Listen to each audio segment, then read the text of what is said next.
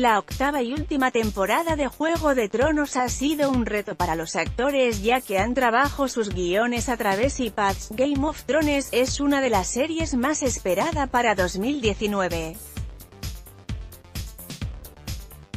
Foto, HBO falta menos de un año para que se estrene la octava y última temporada de Juego de Tronos que desvelará el destino de los personajes que han conseguido sobrevivir hasta ahora y previsiblemente quien acabará gobernando los siete reinos.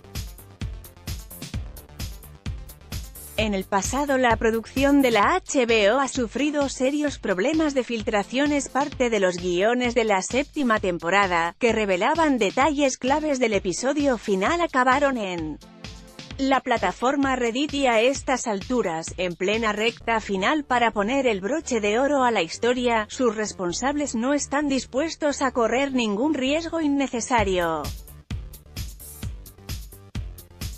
El actor Ian Glenn, encargado de dar vida a Ser Jorah Mormont y uno de los veteranos de la exitosa ficción, comprende perfectamente el porqué de todas esas precauciones para evitar que los secretos cruciales no acaben en malas manos, pero en ocasiones no puede evitar sentirse algo harto en vista de cómo complican su trabajo y el de sus compañeros de reparto.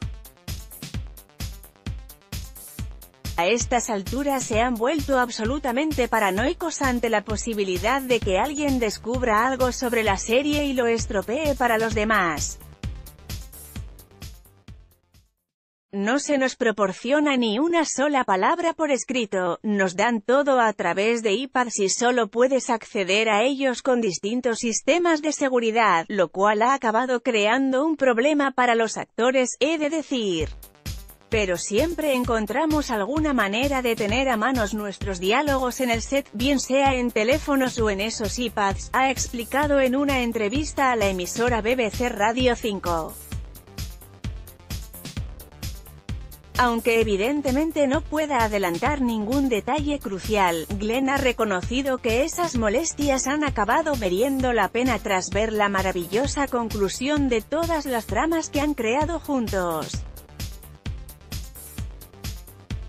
Esta temporada ha sido la primera vez que nos hemos sentado juntos y hemos leído el arco completo de la historia, de principio a final, a lo largo de todo un día.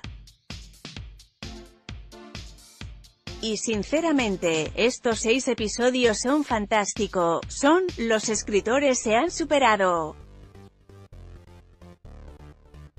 La forma en que han conseguido unir todos los puntos ha sido una verdadera obra de arte.